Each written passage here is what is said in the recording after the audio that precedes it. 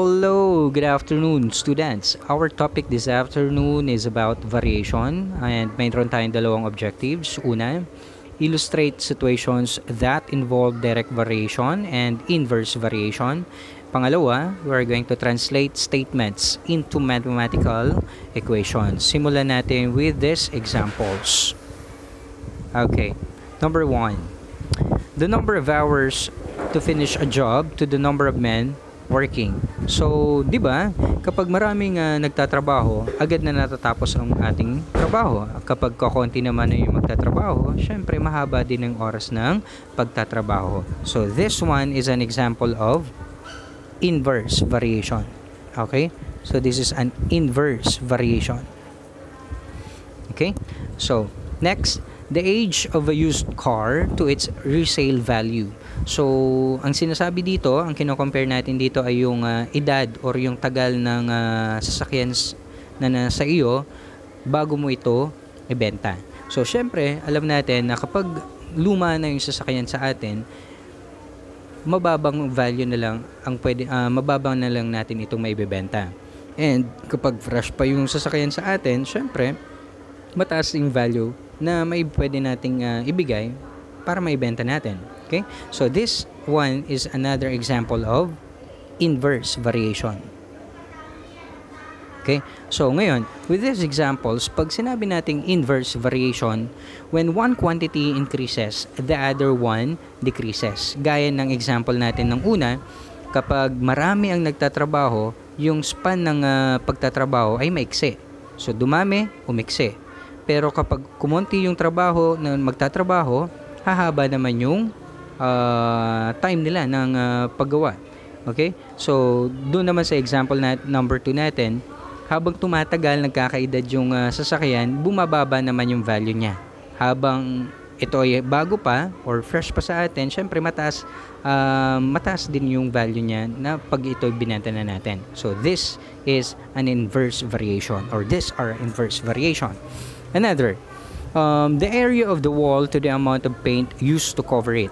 So this one is an example of direct variation. Okay, so this is a direct variation. So, bakit sa tinawag na direct variation? Kasi, um, syempre kapag malawak or yung area natin malaki, yung area ng wall ay malaki, so syempre malaki din or madami din yung kakailanganin nating uh, pintura. Pero kapag maliit lang yung wall na pipinturahan natin, so syempre yung magagastos nating pintura ay kokonti lang din. So, this is an example of direct variation. Another, the time a teacher spends checking papers to the number of students. Kapag si teacher, maraming estudyante, so mahaba din yung time niya ng pag-check. Pero kung konti lang yung estudyante niya, syempre, maiksi lang din din ang time niya ng pag-check ng mga papers. So, this is one is also a direct variation. So, with these examples, pag sinabi nating direct variation, when one quantity increases, the other one increases as well. When one quantity decreases, the other one also decreases. So, these are the two types of variations, the inverse variation and direct variation. Okay, next. How about translating uh, mathema uh, translating statements into mathematical equations? Paano natin gagawin 'yan? Let's have this one.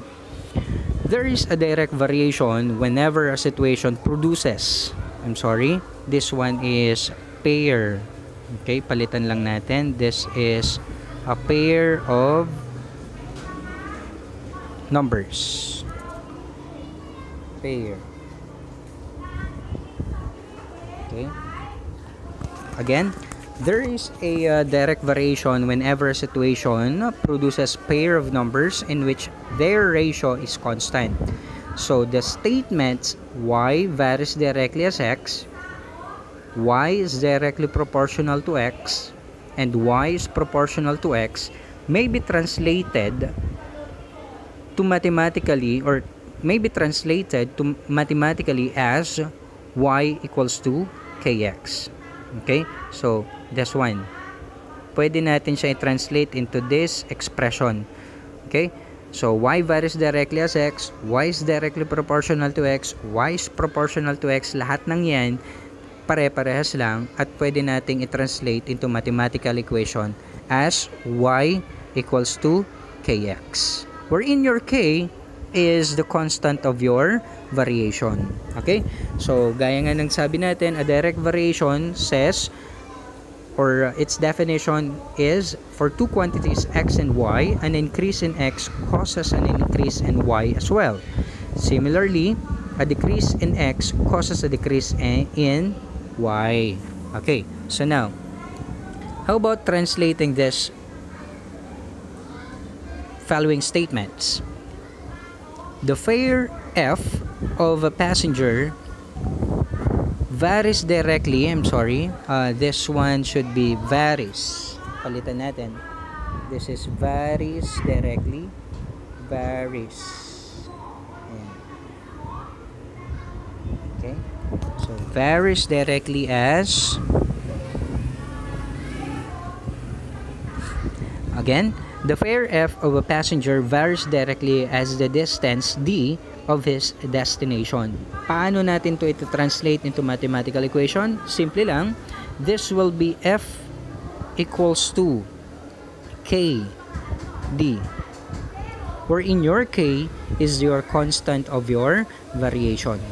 And for number 2 naman, the cost C okay, of fish varies directly as its weight W in kilograms. So K W.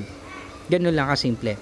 So you just have to attach K as your constant of your variation. Again, for number 1, the fare F of a passenger varies directly as the distance D of his destination. So that will be F equals to KD.